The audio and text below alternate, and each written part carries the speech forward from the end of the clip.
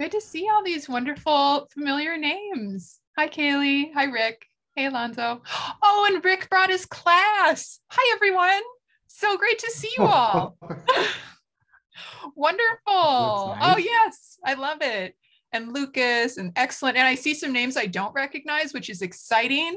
Wonderful. Yeah. Um, this is great. Well, I want to thank you all for joining us on a Wednesday afternoon, or if you're in Greece, it's midnight, yeah, which is wonderful. Yeah. Um, we are so pleased to be joined today um, by Apostolos Zerdevas, um, who is, joins us from the Focus School of Photography in Greece. Um, we met at a National Portfolio Day, and we've had some really great connections this year. And I'm so pleased that we can host an artist talk today. So, without any further ado, I'm going to hand this over to Apostolos. Uh, hello, everybody. Thank you, Helen, for inviting me. Uh, I thank very much for the Minneapolis College of Art and Design, the MFA program that invited me for this talk. And uh, we also had a very good collaboration in a previous, like, uh, let's say, like a lesson we had. We, we, we went very fine. And hopefully, I'm looking forward for the exhibition this summer that uh, it will go on. So I think it's a very nice start. It's also uh, I thank everybody who had taken uh, some of his time in order to see me here today to present my work and start talking around things like that, which is, is very kind of you. And uh, what uh, this today's talk is a small presentation of my work, of a big part of my work and uh, to before I start like presenting, I, would I can say one or two things about myself. My name is Apostolos Zerdevas. I'm based in Athens, Greece. So right now here, as Ellen said, it's 12 o'clock. And basically, I have been like a, prat- a practicing artist for almost the last 20 years. And I have done a series of exhibitions in Greece and abroad and basically my education has been uh, uh, I have studied photography in Greece and I have continued my studies basically in uh, the UK where I, where I obtained a, a MFA in fine arts. And now I continue my studies. Basically I'm I'm I'm reading for a PhD in uh, the University of Reading uh, also in fine arts, and which it has to do with the representation of political violence in contemporary art, etc. Which is one of the main focuses of my work, not the sole one, but it's one of the main themes of my work.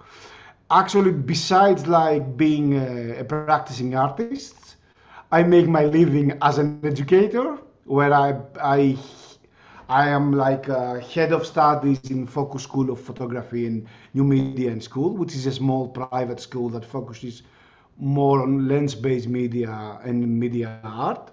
We have like a two-year program in Athens. And uh, also, I, from time to time, because it's not like my main occupation, I act as a curator for Athens Photo Festival, which is a pretty big festival of photography in, in Athens.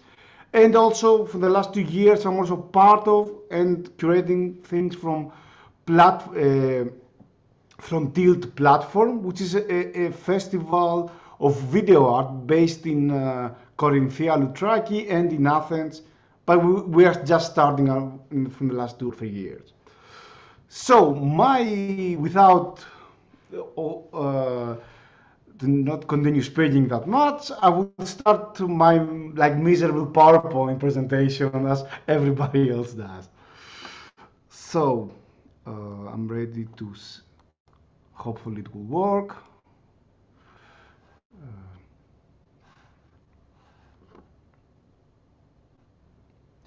Uh, okay. So uh, does it, everybody sees the screen? Yes. Okay, so it works. So, my name is Apostolos Zerdevas. This presentation, I, I decided to have a title that's a bit like, I think it explains some some parts of my work. The, this like premature explosion that it combines some notions of maturity and not maturity, and also like some notions that have to do with image violence and things like that. Before I start presenting what I do, uh, this is my natural state. If somebody sees me in Greece, logically will see me with a, a, an iced coffee in my hand because this is usually how I am like uh, wandering around the school. And this is usually what I do. I mean, uh, I, am around in exhibitions, either that are from someone else. This is one exhibition that we have done with my with Focus Photography School, together with me are some students and my father and some other teachers. So, you know, this is what I normally do. This is how I live, basically. This is how I'm, uh, I make ends meet. And uh, what I, I, have to say that I think was very important for me, I was very lucky that when I was young, uh, when, I start, when I started my studies, that was in uh, before 2000, it was 1990, 90, 1908. Uh, so then it was like uh, I was very fortunate because I had to I had some teachers that were very open about what photography means, especially by the standards of that era. I mean, speaking 20 years beforehand. So I mean, I was very there was very open presentations and like uh, there was a, a, a very open uh, attitude towards what photography can be and what also can constitute an, a, a work of art. I, I wouldn't say that now this is advanced by art standards, by but by by the standards of living in a small periphery country as, Greece 25 almost years ago. This thing was very this thing was very important. Was not that common, especially in, in a photography kind let's say in the photography small like uh, community so when i was young one one of the first like uh, I, would say that that were like uh, one of my major uh, inspiration was generally what we could say in a very blunt term like conceptual art and conceptual photography one of the main reasons i would say it was like that i'm naturally very clumsy so when i was wor- working with film things usually didn't go very well. It was very difficult for me to solve the equation of to make technically good photos and make very interesting uh, and have a, an interesting theme at the same time. Right? To, to, to manage to solve both the concept and the form at the same time was very difficult for me and the technical aspects. So I think for me it was a, the idea that you can make interesting art that, as this artwork from Joseph Kosuth, that, that can be conceptual art that you don't have to be a great photographer or to make a very fascinating image. For me, it was very liberating in a way. So, looking at first at some more classical, like let's say conceptual uh, work of the like 70s, and then being in touch with what, what I could say like uh, uh, the contemporary photography, let's say, of, of the 1980s in, uh, in the UK and part of the young British artist movement was very integral for me to like to start formulate what, what could be very interesting as work. So I mean, some another idea that I found very interesting it was to incorporate text in the photos. This is a work by Hannah Collins, which although it's very massive, I, I haven't done very much that massive works. I mean, it, it, was one of the ideas that I mean were like, ah, I can connect text with images. So this also. And what also what also I find very interesting idea, it was the idea that like this uh, Victor Burgin's piece, which called Office at Night, which is a reference to Hopper's work, basically, with the same name.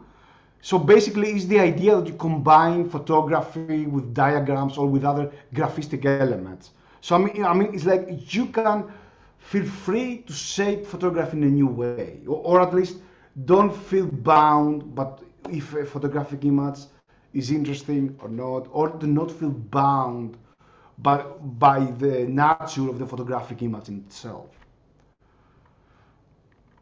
So my first work that I, I could consider part of like, let's say my mature work was the series that I made in 2001 that's called Where Are the Biscuits?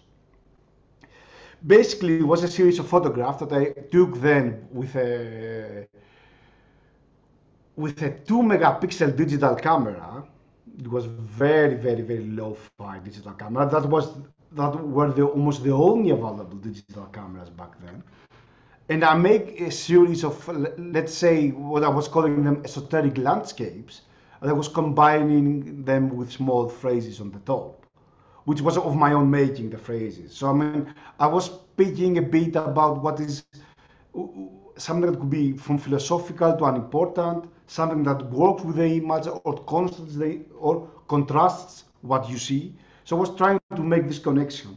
For some reason, although I was still based in Greece, generally the relation with language I have, I was always much more easy for me to express myself in the English language. This is also perhaps because of my dyslexia might play part in it, I would say.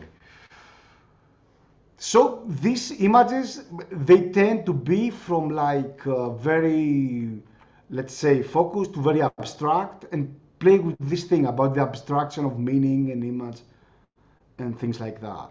And these usually are, are printed very big in almost one meter to 70 meters. So I mean, they don't have really a very good quality of the image. You play with the thing you see that the, the text you see in the front and the image in behind. And this creates a relationship.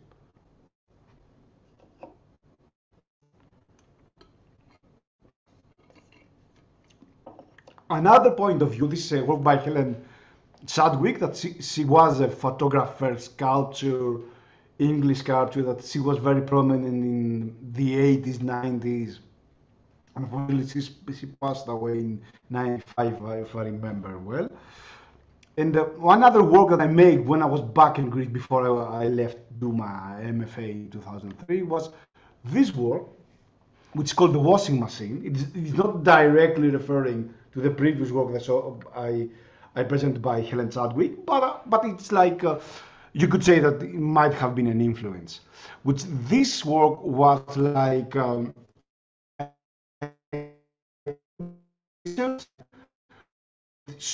this small catchphrase that usually you could say come from some uh, elements of everyday life. And I presented them as being washed up in a washing machine and working at the same time. So um, this was a bit like, uh, again, was a, a try to live, live far away from what we say the photographic image. The, I always had this, especially in my first, I would say, like 10 years of my art making, very loose, uh, let's say, relationship with the photographic image. I also it was my first day that I, um, the first work that was trying to vibrate or some concepts like that. So what I wanted to, to actually simulate was like to simulate, let's say, everyday like concepts that we have in everyday life with a washing machine that everything being is being washed, washed over and it's complicated into the same like uh, let's say mass of thought or in a way how thoughts or phrases or or ideas in a day let's say die out a bit. In 2002 i moved around i moved for one year in the uk so that basically was a very big change in the way i approach my work I started an MA in uh, Chelsea School of Fine Art, Chelsea School of, of, Art and Design. Now it's part of the University of Arts London, and uh, the, the, department still exists. I mean, and uh, and there I had like this, you know, I just moved away from home basically for the first time in my life in my 23s. I go to a very different environment. I'm being faced with a very different critique regiment. I mean, especially then, the, MF, the MFAs in the UK were very competitive, both in terms, if it was very difficult to go to one, I mean, to get accepted to a good university, but also they were very competitive in their critiques. So I mean, this was something very new to me. Like some somebody saying, "Ah, your work is not good," or "Do not do that," or "Do this other thing." I mean, this was something very new. I mean, we were much more, let's say, innocent in a way in Greece, and also we were not accustomed for other students to to like comment or negatively on our work, which also is a very different experience from the teacher telling you, ah, this isn't good or not good. There, one of the things that I, I saw that it really changed my view about art in a way, about what it can be can represent basically, was this series of Gerhard Richter that is uh, that's called October 1897, which basically it's a series of paintings, a very famous actually series that, that depict the death of uh, the, the su suicide, murder. There are many opinions about that of uh, imprisoned RAF members in 1977, uh, and basically it's made. There, there's the series of paintings, shoot paintings that they're made out as a reference to like uh, some photos that they were printed in newspaper. And this blurry aesthetics is like how you can represent first something that has to do with what we say like um, revolutionary politics or revolutionary violence and how this can be rendered into a work of art, the result of it, or what is this process? I mean, this was the first time that I thought like, yeah, hmm, I'm interested in politics, I'm interested in revolutionary politics, mm, this can be a focus in my art. This can be part of my art practice. I haven't never thought about it until then. And uh, as a result of the series, my MFA thesis was basically it was called Terror, very simply. It was basically based on the teachings of uh, a revolutionary anarchist uh, called Sergei Nechayev. He's not that famous, but he's very famous of that he was preaching a very militant like approach to life, and he was basically a nihilist revolutionary in that sense of the word, I mean, what it meant back then in politics.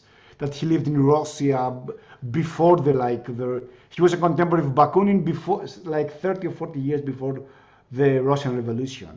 And he actually has written a very small pamphlet that basically he said like this is like uh, what a revolutionary what uh, should be. And what I presented as part of my work was some of his like tellings as written, but they were written on a series of empty corporate classroom whiteboards. This is like in order for someone to like be able to understand what is written on them. And this was presented in a series of like uh, the space of the school was very warehouse like so you were going to these rooms. They were like these balaclavas some videos playing and these like uh, writings on, on whiteboards that they were like describing what the revolutionary must be what I was very uh, also fascinated by that is like because it's like although his writings have lived through the ages and have become like a reference point. She was actually a very failed revolutionary. And I think this for me started like bridging the idea also like what is art has to do with it, how art can like uh, communicate with such things that they're very transgressive or they're very practical or they or they, they speak about violence which are generally in my opinion at least it's not very close to that and I, I, think this is what I was trying to describe in a way. Wait a minute. Wait a minute, sorry. Okay. Was that, um, for example, art cannot be really like a part of such a process. In reality, it's it can pretend to be, but it becomes a bit pretentious. This thing, for example, this part of installation was like uh, this were again like was in a, in an open space and these were instructions of how to make how they were making molotov cocktails in the second world war and in front of it there were various uh, beers from all over the world and plus everything was uh, uh, like um, pured with gasoline. So I mean, you could also smell the gasoline around. So I mean, it was kind of again like like something that's something between an advertisement, like what is what is like a bottle of beer. It's an everyday object that it could potentially be turned like into a revolutionary weapon, but in reality, in, without the confidence of like an art space or an exhibition space or a university space, this cannot really happen. This is, doesn't doesn't happen. And uh, part uh, and now there is like a, a, video that basically presents the exhibition some of like the videos they were playing it. I think it will play right now, hopefully. Okay.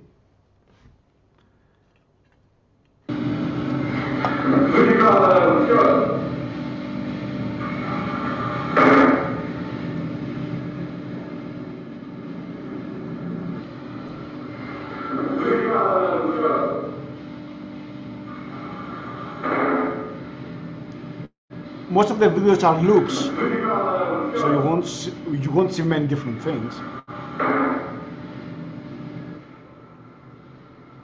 And basically, if you saw these small floppy drives, in these drives there were instructions of how to turn like a floppy drive in a small like uh, disk, let's say something like that.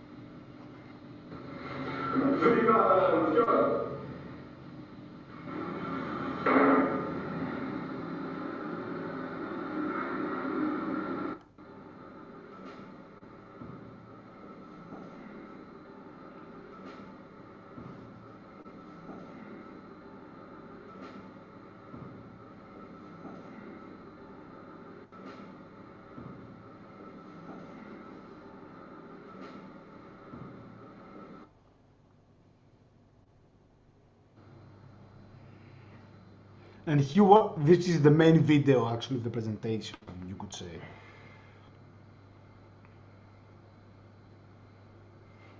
Viva la revolución! It's sort of a performance-like video.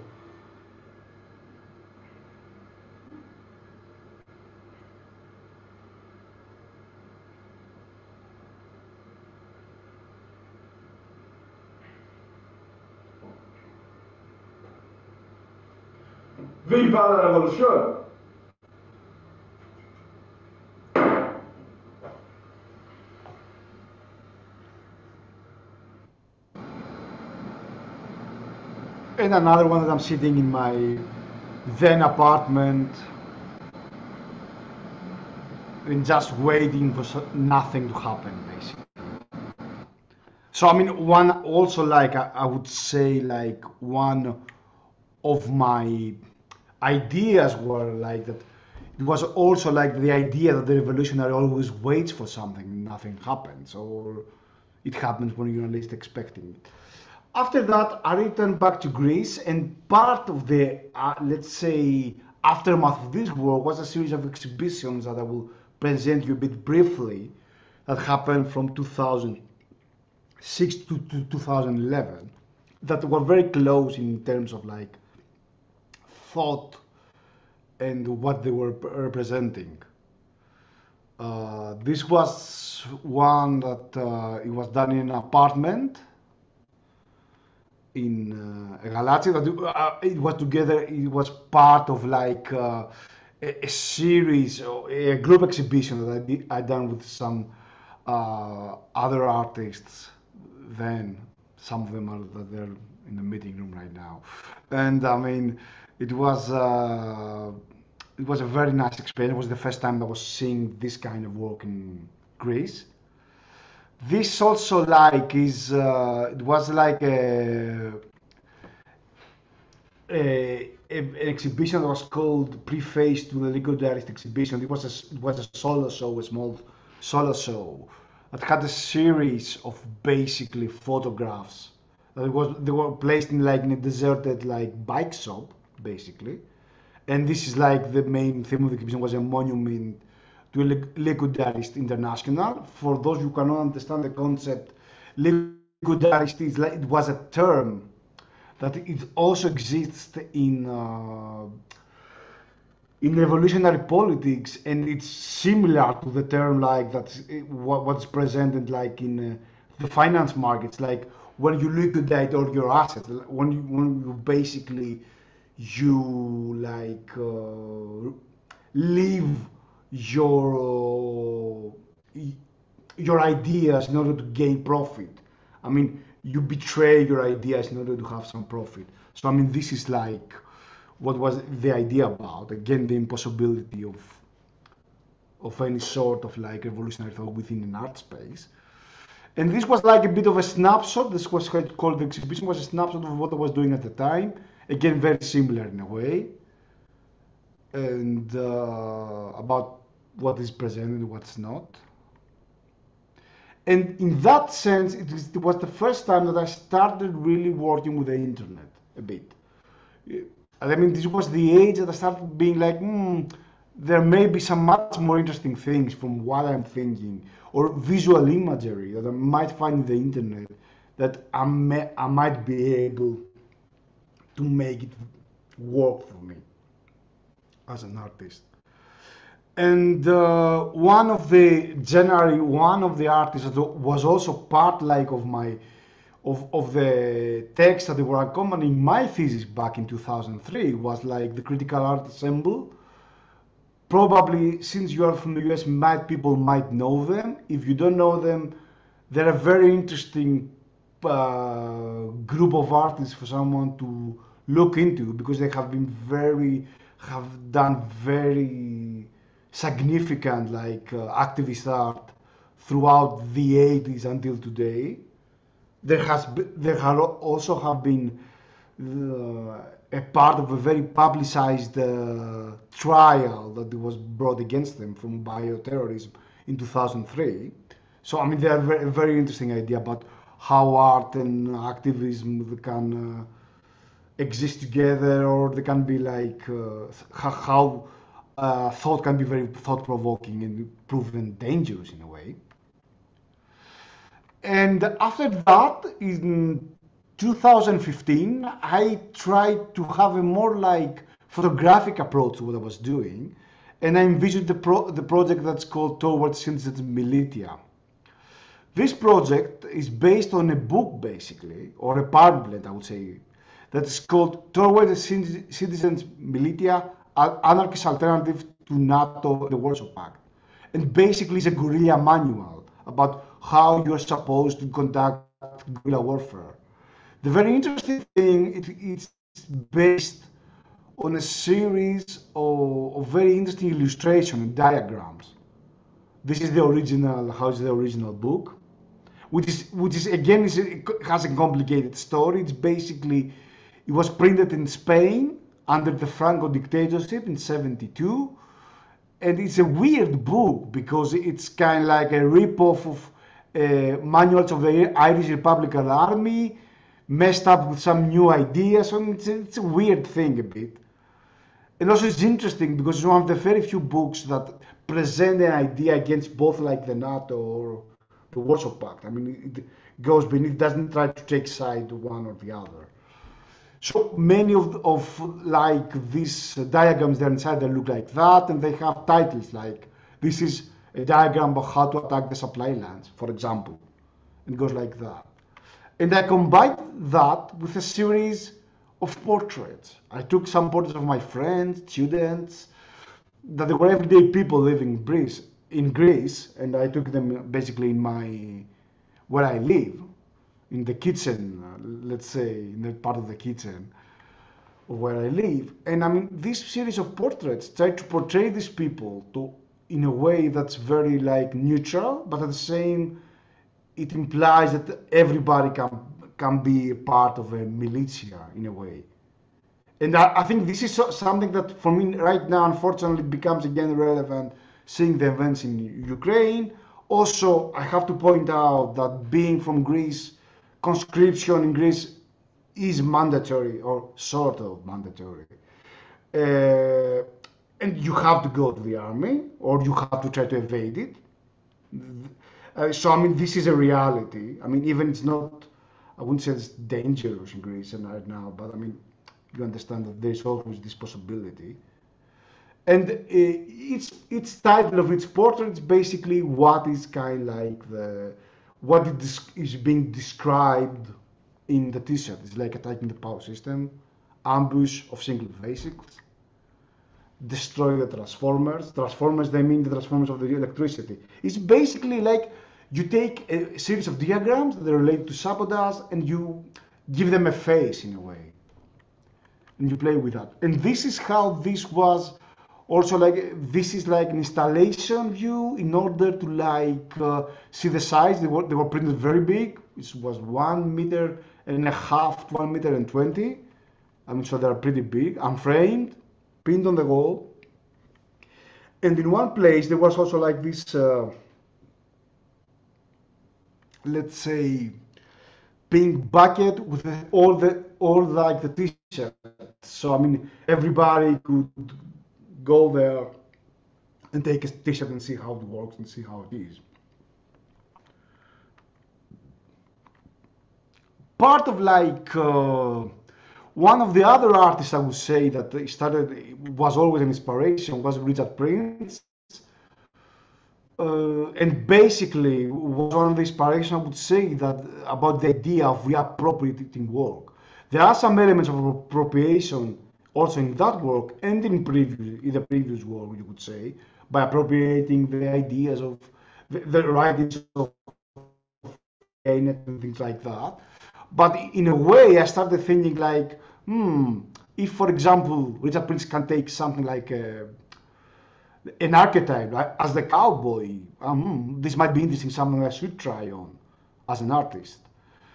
And in 2015, I produce a series of, I would say works, because not a single work, that's called State, that exists both as a book and as an exhibition.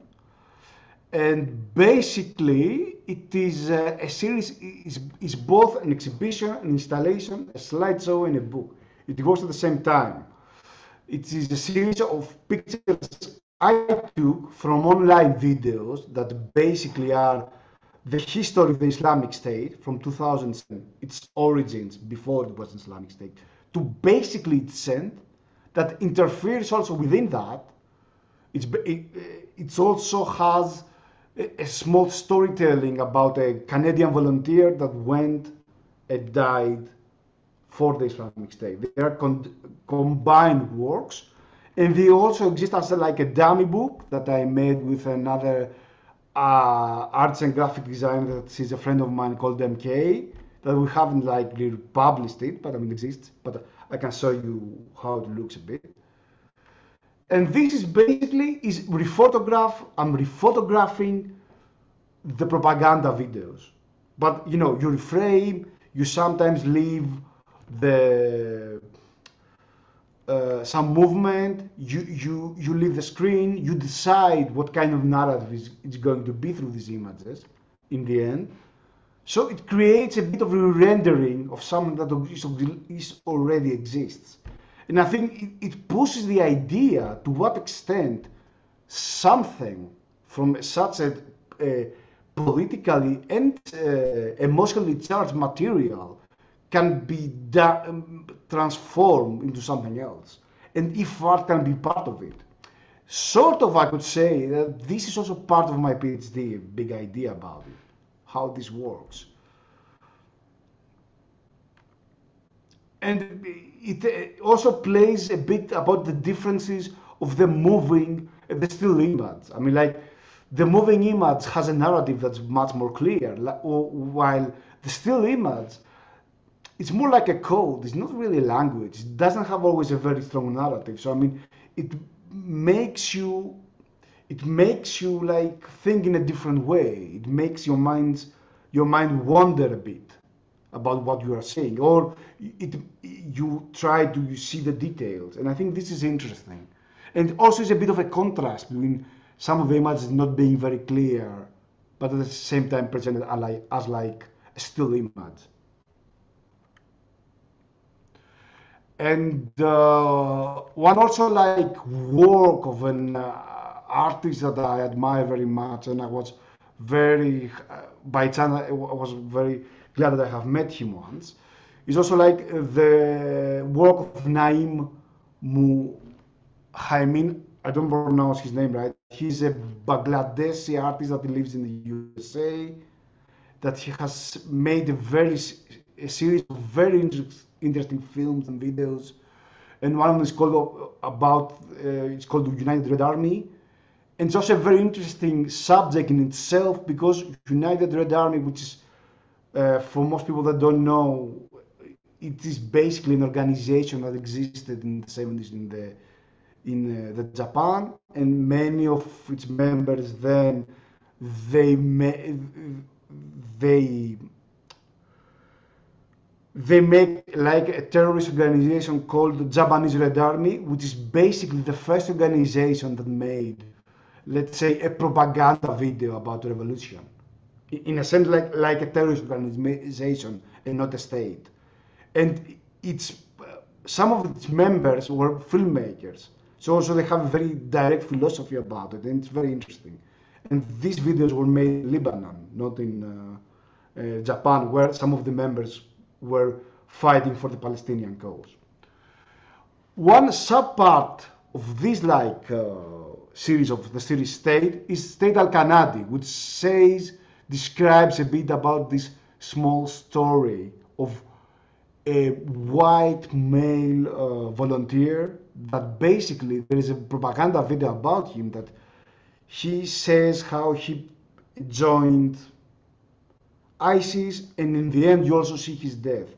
It's very bizarre. It's very weird in a sense because it's also very interesting because in the start it starts by seeing like found footage that they have incorporated in their video of Canada, which is you see like this tundra-like uh, landscapes, uh, snow, plains, you know, beautiful cities, and then suddenly you go to like the grim reality of uh, let's say uh, the uh, the Syrian civil war itself. This image basically is himself dead. He, he's the guy. That, that um, I mean, he's even his death becomes in front of the camera. So I mean, this creates a bit of it, it creates, I would say, a piece of film or like a new genre. It's very difficult to put in a very specific perspective. I mean, it is a propaganda film. It's an output of a criminal terrorist organization, but at the same time has documentary elements and elements of, uh, let's say, something they would say like uh, shock horror films or even snuff films in a way. It's very weird and it exists also also in a bit of an ideological vacuum. I mean, it's not something that we, we can very easily, let's say, describe it. And I mean, for example, this is the last piece of the film, which I think is very interesting because it's you have this uh, glacier-like landscape. In the end, you have this like very religious message that is like, may Allah accept him.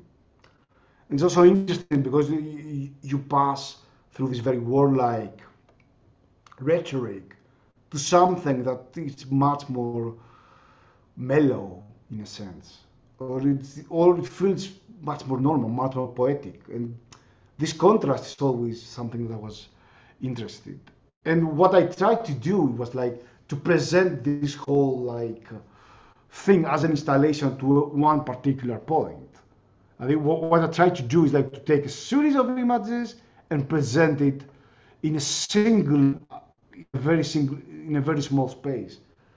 And the all, all the book's images are played in this like video as a slideshow, and there's this small like series of images that basically try to narrate the history of this particular person.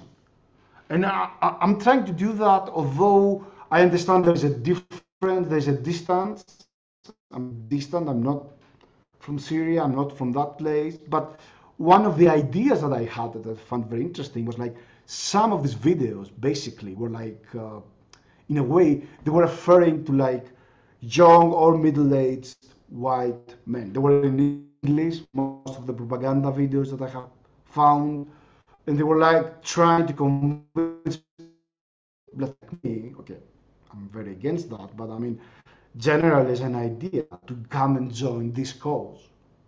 And I mean, then again, again there you can find some reference yourself, although you're somewhere very far. And also there were videos that were made for you to see them online, which I think this is a very interesting subject by itself. Now, uh, wait a minute for one. Uh, no, it doesn't work. Sorry. Okay, there's the book. If we have time, we can see it afterward because I don't think we'll have time now.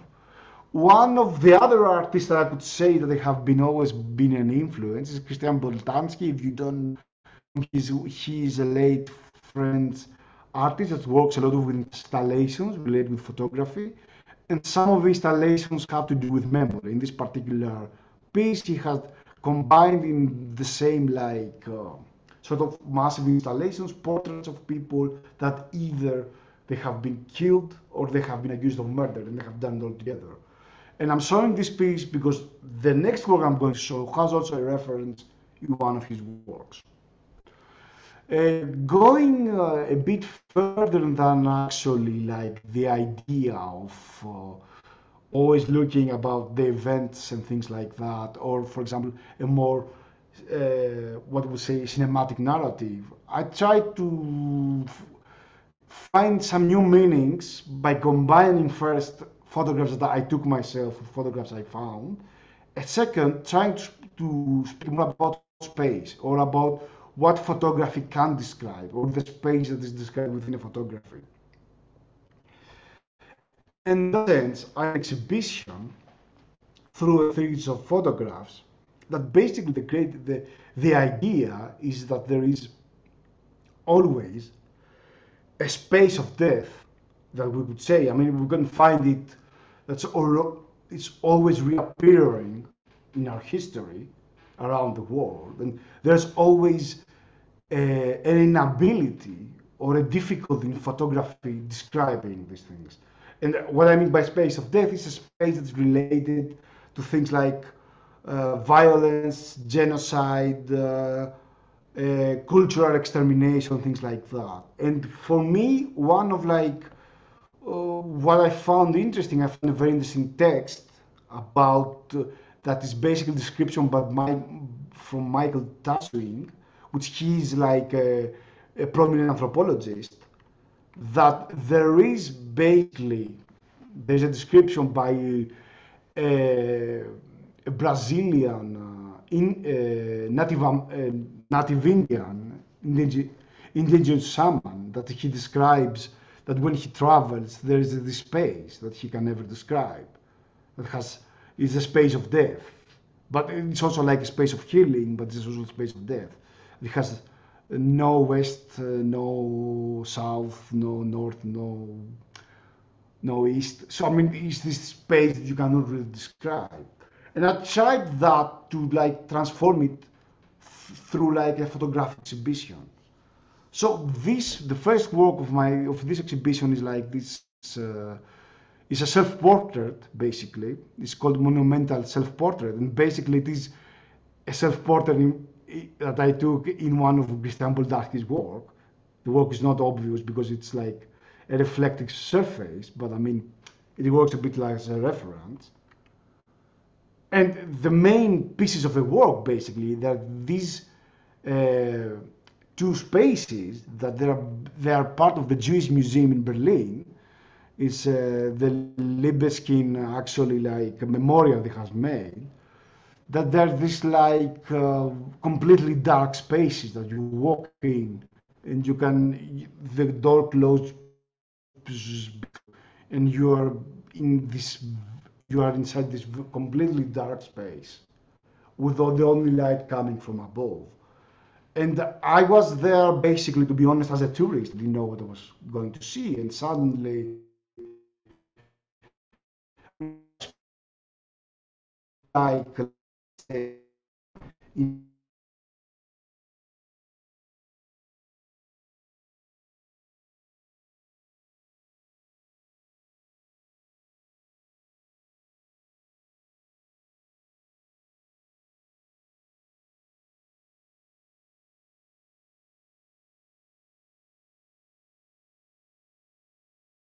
you can see always only traces of people in the space. And one image that I also had in this like uh, series, also as a reference to the text, is one image that I, I took from a book that it shows like a series of native uh, indigenous people in Brazil that they are in front of like of one of their traditional homes that these people unfortunately no longer exist as part because they were exterminated as part of like uh, the latex genocide, which was a, a, series of extermination of native people in order to in order they make them basically walk to death in order to extract latex, natural latex.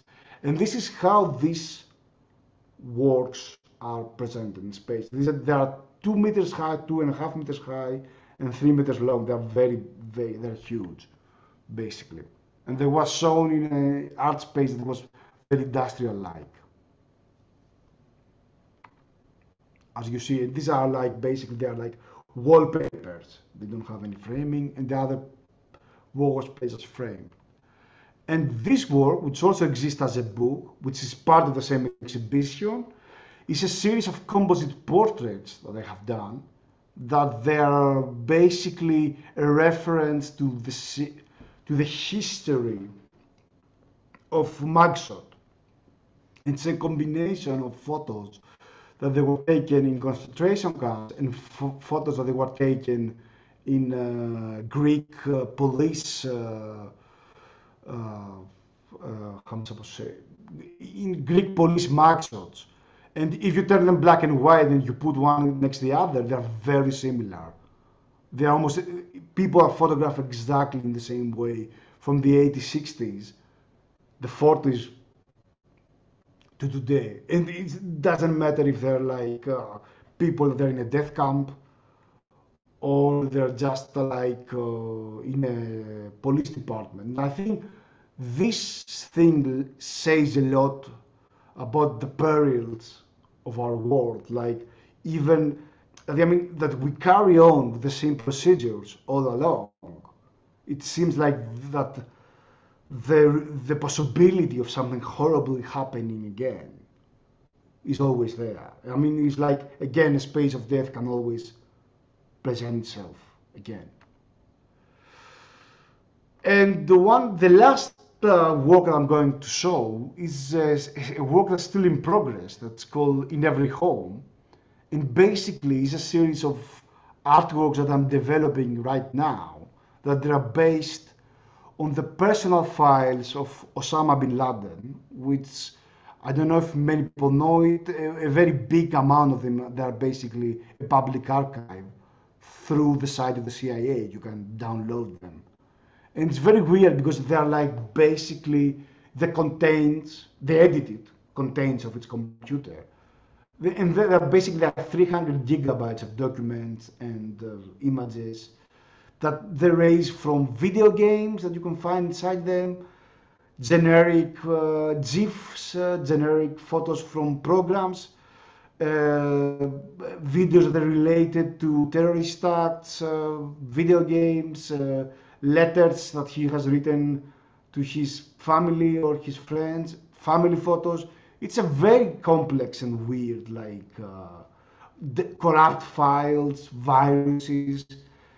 It's a very weird the, the whole thing because it's kind of like it's not only like that it's like uh, let's say an archive of a famous like politically controversial figure or a terrorist but it's also like an archaeology of computer like uh, media because i mean it's imagine it's already 10 years old this archive and the computer was all was already old i mean you have almost like seeing again the contents of a similar computer to yours, like 10 years or 12 years ago. And for me, that I am a bit older, some of these files seem familiar. And it's a very weird material, which I, I, I must admit is always very difficult to work with. And also, it's very difficult to present it. I mean, do you make what are the contents, who it belongs to? No, do you you don't that they're not things that they're completely like uh, resolved in my head or in my practice. One piece that I have already shown as part of an exhibition was part of an exhibition that I had curated myself uh, together a exhibition with other artists that it was called The Infernal Machine. And these pictures were part actually of his uh, they're unedited pictures part of his hard drive that basically they were crafted images that were found in his Photoshop file. But these are basically they were images that they were like uh, they were like uh, default images that they came with earlier versions of Photoshop, basically. So I mean, uh, and I think this is this was very interesting because what it was creating is uh, wait a minute this possibility that I mean you have something in common, but at the same time these images because they are corrupted, you see that there are all these like uh, they are sort of uh, they're not proper, they have not properly downloaded. I mean, they also like have this sense that somebody has meddled with them or they could be like a, a result of an explosion or something. So I mean, I like this idea very much. And also that you could find very easily a common ground to an everyday computer.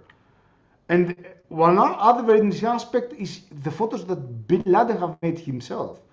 And I have chosen some photos, although some of them might be a bit off, maybe I don't know if he can recognize if they're uh, uh, interesting or not. I don't know. There's no commentary about them. But it's the, the photos he have made himself, which is, again, is a very interesting idea because, I mean, there's also like this, I was reading about this uh, theory about Boris Groys, which says like, we all know first time Bin Laden as a video maker, as someone who used the same media as I do as an artist. So I don't say that he was or he is an artist, but I mean, it's kind of like, is there this common ground and how you can connect? How do you associate with that? If it was not known by whom he was made, was this interesting or not? Apostolos. Also, okay, are we? Sorry to interrupt. I just wanted to give you a couple minute warning. We're almost at five, so I don't know if you want to start looking for a natural, like an ending point. Yeah, I, think uh, I'm basically finished. There was also another video that I, it's not necessary to show that because basically it's not idea, I would say. Well, I can see a couple of images, perhaps. Sorry, more. Wait a minute. No, it's not working now. And these another two images that I'm making right now. One of them is this is called like a history of terrorism that tries to combine historical elements of uh, let's say this image if you see it in front it's like uh, of the terrorist uh, attack in Monak, the Monak massacre in 72 and combine it with some uh, digitally combined with some material from Bin Laden like PC and try to see if we can I can make something interesting. Try to engulf like or combine various histories in one image. And this is something that has to do like with how, in a sense, like uh, it's more about the theory of like uh, the so-called field of terrorist studies or counter-terrorist studies. How do they define terrorism themselves? So I have combined different ideas that they have in diagrams into the same image and, and digitally made it reproduce itself, so it creates this chaotic image. And but these are more like research projects still, and I'm not finished with them yet. So basically, this is, I would say, a very big part of my work. Sorry for being so tiring, speaking almost like one hour without stop. Hope you find some of it interesting, and I'm very open to questions and whatever you like. And Wonderful. And I don't think we're tired at all. Thanks, Apostolos. um, I thank you again for your patience. Oh, of course. Yes. No, it was wonderful. Um, I do want to give an opportunity if anybody has a, a, question they'd like to pose, especially since we have a whole classroom with us here today. If anybody wanted to pose a question, um, feel free to unmute and ask, or if you want to type it in the chat, I can read it out to people. But I just want to make leave a little bit of space and time there in case anybody had a reflection or a, a question. Oh yeah, I see somebody pointing. yeah, this is... There's that many gestures happening in the classroom. yeah, but I, I, like this pointing sounds a bit like you know. Like, hello. Hi, Rick. I think they're working. Hi, on... Ellen. There we How go. I can hear you. Good to see you. Uh, so um, we don't have any questions. Uh, Apostolos, so I, I want to thank you for your presentation today. We actually didn't finish our final critique of the semester today, so we actually have to um, uh, leave you at this point. point, and I'm sorry that we have to, but um, I really appreciate you taking the time to, to speak with us today. It was really interesting. My Wonderful. pleasure. Thank you for inviting me. That's uh... okay. Uh, so we're actually going to uh, take off. We got to finish critique. And Ellen, I want to thank you for arranging this for today. Uh, it was really great. Wonderful. We're so glad you could make it. And I see Jesus has turned on his camera, so he'll. I think he might ask us a question. Yay! All right, we're, we're logging out. Thank you. You bet. Bye. Hi, Jesus. Hi. Hi, Apostolos. Thank you for Hello. talk. Um, I have um, I have a question. Like I have yeah. So uh, in all the works that you have shown us today, there's like a constant visual narrative related to the enrichment of the photos, like through noises or glitches or pixels or like some elements that you add there in all your work. Um, so my question is that, uh, does these elements comes from the conception, like your, when you start like thinking about the project or is more like an explorative process when you're like taking the photo or like revealing it or exposing it? Basically, this is a very interesting question. It is both in a way, because sometimes it seems that I have a more clear pathway, like to what, how I work. It's like, oh, I will do this. For example, the one with the t-shirts, I mean, and the people I photographed was like, no, today I'm going to be a real photographer. So I'm going to photograph people. You know, I mean, it was almost sometimes also like an exercise to yourself. But a lot, like in post-production, although in sometimes the post-production might be very simple. It might have nothing to do with uh, like uh, lots of like uh, added elements. But I mean, usually until I reach there, uh, like uh, experimented a lot. For example, the one, the, the black ones, the very big ones. so, I mean, th there's not really any like uh, real digital production behind it. just, I just uh, opened the raw file in order to like make the image appear, like someone would do in a like darkroom. And this effect of like all this uh, noise came up because it was just too dark there.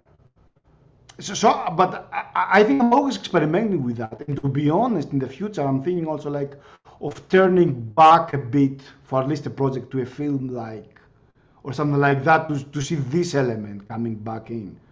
Because although I, I like the digital, I mean, I think in a way it might be interesting, especially through the passage of time, to see that. But I'm, I'm generally have a very open process towards that. It's more like an experimental that uh, do try this and that and see how it goes. It's not I'm already fixed. I don't know if you discovered uh, yeah, yes, yes. Thank you. Wonderful. Thanks for that question, Jesus. I wonder if anybody else has any questions. And if not, that's okay too. I understand that yeah. some people might have back to back meetings to head out to their five o'clock appointments and so forth. So, but I'm glad we got yeah, at yeah. least one question in there and such an interesting one about process. So that's really great. Um, I want to thank Apostolos and thank all of you for joining us today. Um, we really appreciate your time. And um, we hope that uh, you have a beautiful evening, or in your case, uh, all the folks yeah, I will you have a good sleep. uh, I will thank everybody who was uh, who, who, took one hour of its life to devote to hearing me talk about my work. It was a pleasure of inviting me. Thank you, Ellen, very much. You have been so helpful for all these things. I, I have also to thank my students that they have, or the people from Greece that they have stayed up so late. And uh, I won't complain for them tomorrow. You know, if they're late, there's no problem. Okay, you know, what I mean, they're dismissed. And uh, also some friends that they are watching right now, and I know. So thank you, everybody. And Ellen will keep in touch. Absolutely. Absolutely. Speak again soon. Wonderful. Thanks, everyone. That's great. It was really nice. Thank Have a good much. evening. Bye. Bye.